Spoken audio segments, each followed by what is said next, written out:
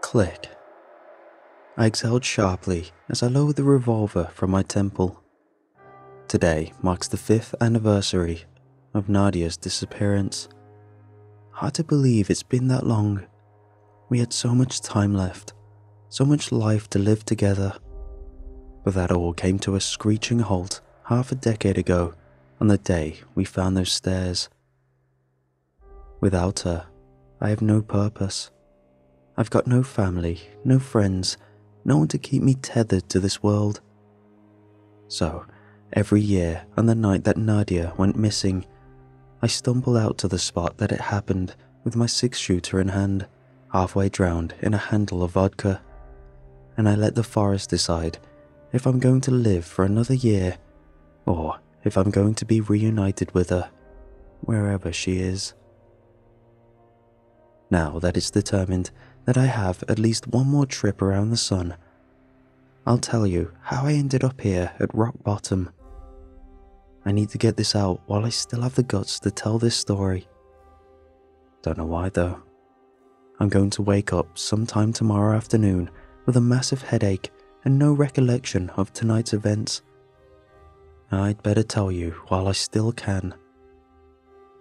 I've lived on the outskirts of Bear Creek National Park for my entire life. Don't bother looking it up. It's a fake name, so nobody tries to seek out the evil that lurks here. It's safer that way. As I was saying, I used to live out here in a cabin with my dad. I miss him so much. He passed away eight years ago, leaving me all alone. Cancer sucks. That was before Nadia and I started dating. It's funny how things work out. I actually met her at a coffee shop on my way back from visiting Dad's grave. When she approached me and asked if the seat across from me was taken, I was instantly smitten. Her deep blue eyes shimmered like the ocean, Long brown hair cascaded down to her shoulders in waves.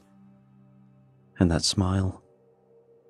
When Nadia smiled, it was as if time stopped just for a moment so that the whole world would soak in its breathtaking beauty.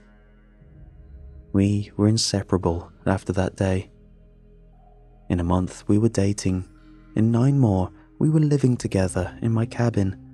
And in another year, we were set to get married. Had a date and a venue picked out and everything. I was on cloud nine. But that was all torn from me in an instant. God, I wish I never would have taken her out there. I had my first experience with the stairs when I was seven. Dad had always warned me never to climb them. That wasn't a problem for me though. The stairs exuded a malevolent presence. Like anyone who dared to walk up their steps would be eaten alive from fear alone. I remember it like it was yesterday. I was playing in the woods near the cabin when I saw it. A black, winding set of metal stairs that stretched maybe a story. They didn't lead anywhere. They just kind of ended. All the stairs are like that. They vary in size and shape and model, but the one thing they all have in common is that they don't lead anywhere, and they're never in the same place twice. They just sort of materialize. No one knows how or why, and truthfully, we don't want to know. Most of us, that is. Nadia wanted to know and that knowledge cost her everything. Come on, baby, just a little further. I want to see the sunset. Nadia whined in protest at my proposal to head back. Nadia, I know you, but we didn't bring flashlights, and our phone batteries aren't worth crap. I don't know about you, but I don't feel like smacking into trees every few feet on our way home. Oh, fine, you win. I'll go back this time. But promise me, we can come back tomorrow? She requested, puffing out her lower lip and gazing up at me with her best puppy dog eyes. I'd be lying if I said they hadn't worked. Alright, I'll take you back out here tomorrow, but only if you um. I trailed off, entranced by the sight of them. Nadia's brow knitted together in confusion as she traced my gaze. Then her jaw fell open. Directly before us stood a polished cedarwood staircase. I got a sinking feeling in my gut the moment I laid eyes on that thing. It looked so out of place, like a rat in a fish tank. What is that thing? Nadia muttered, gaze still fixed to it. It's nothing. I'll tell you later, I said, snatching her hand and leading her in the opposite direction. Oh, Jason, let go. Why are you making such a big deal out of this? Tell me what's going on, or I'm not going to move another inch. Nadia protested, crossing her arms defiantly. I sighed. There was no point in hiding it any longer. She was going to find out eventually. Okay, so this is going to sound completely unhinged, but please bear with me. Ever since I've lived here, ever since anyone's lived here really, people have been finding random staircases in the forest. They appear and disappear all the time, and you'll never find one in the same place twice. The stairs are a bad omen. Something awful happens if you climb to the top, but no one quite knows what. All I know for certain is we need to stay far, far away from them. Nadia rolled her eyes in response. Come on, Jay. Do you really expect me to believe that? A bad omen? Are you some kind of spiritual medium now? Ooh, a staircase, so scary, she said, waving her hands in a mocking gesture. Nadia, do I look like I'm joking? I know it sounds crazy, but I wouldn't lie to you. She softly took my hands into hers and met my gaze. Baby, you know I wouldn't accuse you of that. It's strange, but if it really irks you that much, I won't press it, okay? Thank you. Now, let's go home. I'm starving. Once we were out of sight of that wretched thing, I could sense the tension starting to disperse. It was as if a veil had been lifted. I fell asleep that night with a stomach full of dumplings and not a thought in the world besides the petite girl snuggled in my arms. The stairs had vanished from my brain, just like they always did. Until the next day. We both had the entire day off work, and before I knew it, Nadia was pulling me back down the same path as the day prior to watch the sunset. Butterflies danced in my stomach as we approached the spot that we'd seen the stairs the day before. Even so, Nadia noticed it first. Hey, isn't this the same place you pulled me away from yesterday? Those stairs, they're gone. See, I told you they were a bad omen. Now do you believe me? I never said I didn't. It's just a strange phenomena, you know, like seeing a unicorn. You don't really expect to find it, or in this case, not find it. It's a lot to process. I didn't know what to say. She'd hit the nail on the head with her analysis, except the staircases were no unicorns. No, there was something far more sinister. We continued our walk in silence until we finally reached our destination. That evening will always stand out in my mind. The sky looked like a painter's canvas, a gorgeous amalgamation of purple and pink and orange melded together behind a smattering of light, wispy clouds. I'd never seen anything so picturesque. We stayed there well past the sunset staring up into a sea of stars illuminating the night sky. Thank you for keeping your promise. Today was perfect. Nadia yawned, sleepily resting her head on my shoulder. Every day with you is perfect. Thank you for dragging me out of the house. This really has been incredible. I love you so much. You're welcome, Bonehead. I love you too. Nadia giggled quietly her eyes struggling to stay open. Alright, sweetheart, I think it's time for us to go back. You can hardly stay awake. Just a little longer. You're so comfy, she protested, burying her head into my chest. My heart felt so full in that moment. What had I done to deserve such an amazing girl? All right, up we go, I said, hoisting my weary girlfriend into my arms. If your legs won't move, I have no choice but to carry you. Oh no, how terrible. Whatever shall I do? She quipped, wrapping her arms around my neck. Nothing. Just stay still and let me. I froze mid stride. I swallowed, a dry lump in my throat, as sweat began to bead atop my brow. In the darkness, among the foliage, my flashlight beam fell upon a large, bulky object. They were back. Jason, what's wrong? You look pale, Nadia said, following the ray of light until she realized what I was looking at.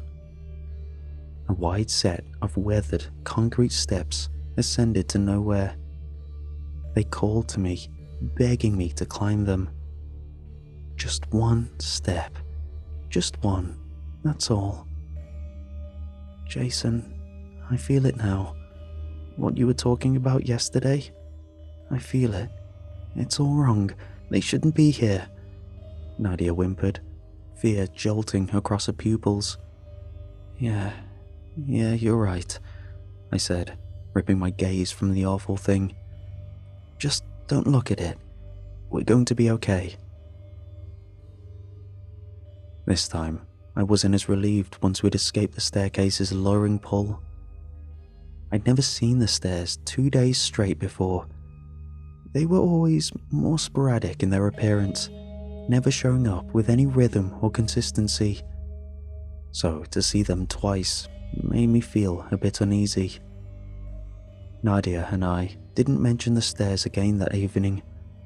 We were both absolutely exhausted, and we were itching to get some much needed rest. I'd be damned if I wasn't going to let some stupid staircase ruin a good night's sleep. Nadia was already snoring when I joined her in bed, and I was out the second my head hit the pillow. If only we could have made it until morning. Maybe then she'd still be here. I awoke in a pitch black room. Nadia was missing from her side of the bed. I didn't worry at first. It wasn't abnormal for her to sneak off to the bathroom in the middle of the night every once in a while. I didn't want to drift back off until I had her beside me, though. I waited and waited to no avail. Then after what felt like an eternity, I finally called out, Hey babe, are you coming back to bed soon? I received no response. That was when the panic set in. Nadia would never ignore me like that. I leapt out of bed and beeline for the bathroom. It was empty. My heart began to pound against my ribcage like a jackhammer Sirens were blaring in my head, telling me that something was wrong, and I felt helpless to silence them. I turned the whole cabin inside out with no results. Nadia was nowhere to be found. Then, amongst all the chaos, an idea flickered in my head. Why hadn't I thought of it sooner? Nadia's phone was missing from the bedside, but I could track a location and find my friends. I fumbled to unlock my own phone and open the app. I had to know that she was okay. I loaded up the app and located Nadia's icon. She was close. The app said that she was only a few hundred feet from the cabin. I threw on a pair of shorts and darted out into the frigid night air. I raced barefoot across the leaves and rocks and acorns. I didn't have time to grab shoes. Right then, I didn't care if my feet were torn to ribbons as long as Nadia was okay. I eventually reached the point where a phone should have been. I frantically called it, praying that she would pick up this time. I saw something illuminate amongst the leaves and not far beyond it, I found who I was searching for. But instead of being overcome with joy upon finding the love of my life, my blood turned ice cold. Nadia's face was partially illuminated by the moonlight trickling through the canopy. She was gazing down at me with tears streaming down her cheeks. Below her feet sat a staircase. This time, it was ornate. White, glassy marble stairs gleamed, even in the darkness, topped off with a pristine red carpet. The stairs looked as if they would lead straight to heaven itself, and that terrified me. Dread crashed over me like a tidal wave as we stared at each other. I wanted to move. I wanted to sprint up to her and sweep her off those god-forsaken things. But I couldn't. I was rooted in place, forced to watch as the girl of my dreams ascended the final step. Jason, please, I don't want to go. I love you and I want to stay with you forever. I had to know. I could feel them calling to me. Please don't let them take me. Nadia sobbed uncontrollably, reaching out a hand toward me. I wanted to grab it, to pull her into my arms, to tell her that everything was going to be okay. But I was stuck. I was forced to watch in abject horror as Nadia involuntarily took that one last step to the top. It felt as if time had slowed to a crawl. One second I was paralyzed, eyes locked on Nadia and those vile stairs. And the next, I was alone. Nadia and the staircase had vanished into the cool night air like they'd never existed at all. The burden of that night will stay with me until the day I die. I wailed, I screamed, I pounded the earth until my fists were bloody and my throat was hoarse. Nadia had been taken from me right before my very eyes, and I did absolutely nothing. I blamed myself for a long time after that. Hell, I still do. I don't think I'll ever be able to move on. That's my punishment, I suppose living out a dull, meaningless life while images of my lost girlfriend run through my head day in and day out. It's why I drink. Strangely enough, I've never seen the stairs again. They're really the only reason that I'm still here. Because maybe, if I just give in, maybe if I convince myself to climb that one last looming step, then there might be a chance that I'll be reunited with Nadia. And for me, that's the chance that I have to take.